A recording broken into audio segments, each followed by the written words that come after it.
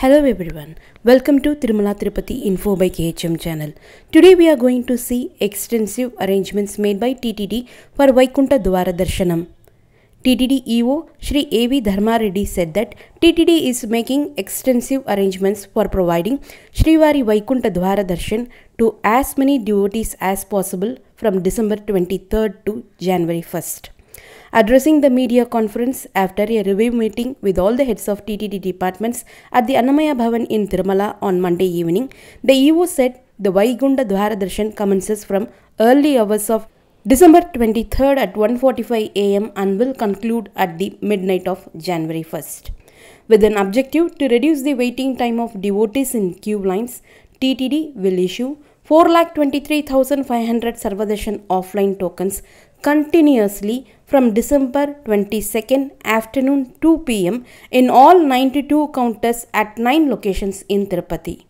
The token issuing locations are Vishnu Nivasam, Srinivasam, Govindarajaswamy Chowdhuries, Bhudevi Complex, Ramachandra Pushkarini, Indra Maidan, Jeevakona High School, Raman Naidu High School in Bairagi Pateda, and ZP School in Emarpalli.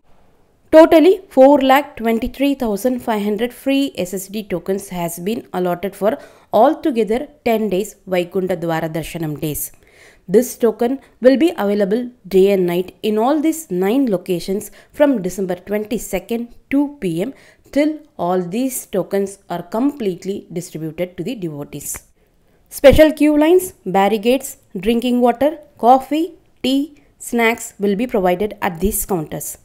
QR code boards will be displayed at all these counters for the benefit of devotees. With the coordination of district authorities, traffic and civil police security arrangements were also made. Since limited rooms are available in Tirumala, devotees shall book rooms in Tirupati itself during these festive days. Only devotees with tickets or tokens will be allotted rooms in offline at Tirumala. As in past, break darshan facility is provided to protocol VIPs in person in limited numbers only. During these 10 days, no recommendation letters will be accepted for break darshan. Devotees with tokens and tickets alone shall be allowed for Srivari Vaikunta Dwara Darshan at Tirumala 24 hours ahead only. Devotees without tokens could reach Tirumala but cannot get darshan. They can visit other places in Tirumala like Papa Vinasham, Akashaganga, Kalyanakatta and Annaprasada centers. Devotees with tokens or tickets should come for Srivari Darshan at a specified date and time only. Devotees should plan for Tirumala only after ascertaining the availability of tokens through SVBC channel and TTD website. Special programs Sri Malayappa Swami and his concerts will ride Swarnaratham on Mada streets on Vaikunta Ekadasi day that is on December 23rd between 9 am and 11 am. On Vaikunta Dwadasi day that is on December 24th, Chakrasnanam will be organized between 4.30 am and 5.30 am. On Vaikunta Ekadasi day, Vishnu Sahasranama Parayanams will be observed at the Nada Neeranjana platform between 6 am and 7 am and on the same day being Gita Jayanti, Bhagavad Gita Akhanta Parayanam will also be recited between 12 noon and 4 pm. Puranic significance of Vaikunta Dwara Darshan As per Puranic legend, one day duration in Vaikunta of Sri Mahavishnu is considered as one year on the earth.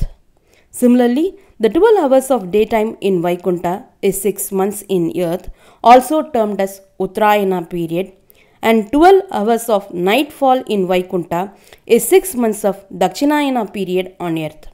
Likewise, 120 minutes in Vaikunta is 30 days on the earth known as Dhanurmasha.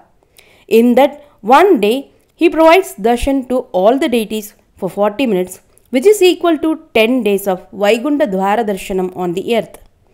The devotees should note that all these 10 days are equally important and darshan on any 10 days is divine. Hope you find this information in the video useful. Requesting you to share this video with your friends and family members too as this video will be helpful for them too. Bye from everyone until we meet in the next video. सभी को नमस्कार Tirumala Tirupati info by K H channel में आपका स्वागत है आज इस video में हम वैकुंठ द्वारा दर्शन के लिए टीटीडी द्वारा की गई अरेंजमेंट्स देखने जा रहे हैं।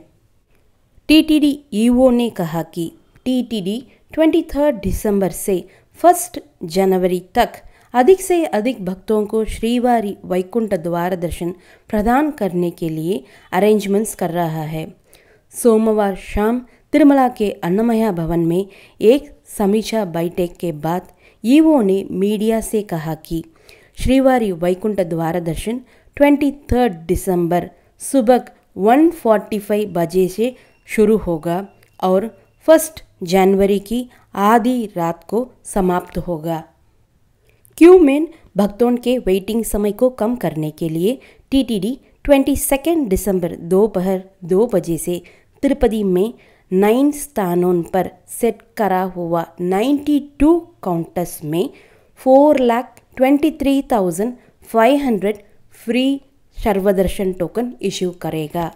फ्री सर्वदर्शन टोकन्स इश्यू करने वाला स्थान है Vishnu Nivasam Srinivasam Govindarajaswamy choultries Bhudevi complex, Ramachandra Pushkarini, Indra Maidan, Jeevakona high school Bairagi Pateda Raman Naidu high school और M R Palli ZP school इन सभी नौ स्थानों में स्पेशल क्यू लाइन्स बैरिगेड्स पीने का पानी कॉफ़ी चाय नाश्ता उपलब्ध कराया जाएगा डिवोटिस के हित लाभ के लिए इन सभी काउंटर्स पर क्यूआर कोड बोर्ड्स डिस्प्ले किए जाएँगे जिला अधिकारियों के सहायता से ट्रैफ़िक और सिविल पुलिस सिक्योरिटी अरेंजमेंट्स भी की गई।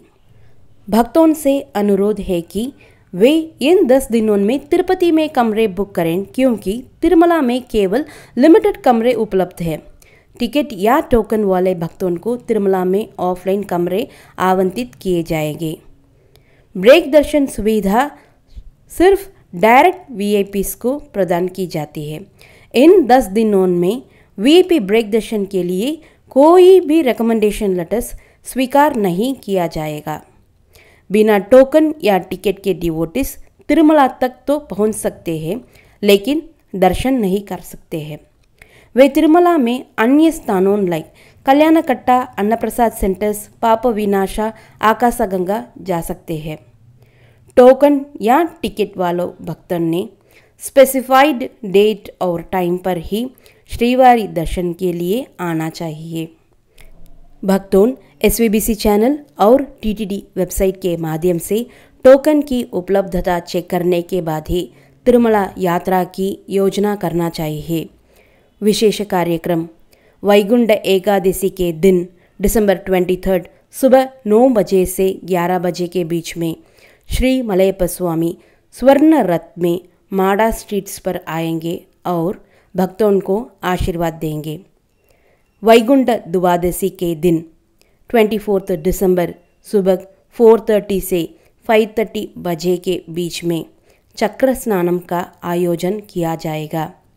वैकुंठ एकादशी के दिन, सुबह छः से सात बजे के बीच में नड नीरांजनम मंडपम पर विष्णु सहस्रनाम पारायणम मनाया जाएगा और उसी दिन गीता जयंती होने पर दोपहर 12 बजे से शाम चार बजे के बीच में भगवत गीता अखंड पारायणम का पाठ भी किया जाएगा।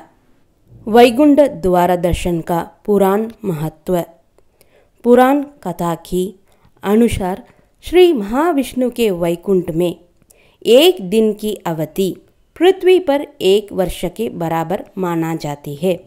इसी प्रकार वैकुंठ में दिन के बारह घंटा को पृथ्वी पर छः महीने के बराबर माना जाता है, जिसे उत्तरायण भी कहा जाता है। वैसे वैकुंठ में रात के बारह घंटे को पृथ्वी पर दक्षिणायन छः महीने के बराबर माना जाता है। इसी प्रकार वैकुंठ में 120 मिनट पृथ्वी पर 30 दिनों के बराबर होते हैं। उस तीस दिन पृथ्वी पर धनुर्महीने माना जाता है। उस एक दिन में, वैकुंठ में महाविष्णु 40 मिनट के लिए सभी देवताओं को दर्शन देते हैं। जो 40 मिनट पृथ्वी पर वैकुंठ द्वारा दर्शन की 10 दिनों के बराबर है। भक्तों को ध्यान रखना चाहिए है कि सभी 10 दिन समान रूप से महत्वपूर्ण है। आशा है आपको इस वीडियो उपयोगी होगा। कृपया है, आप इस वीडियो को अपने फ्रेंड्स और रिलेटिव्स के साथ भी शेयर करें। दूसरा वीडियो में देखने तक धन्यवाद और अलविदा।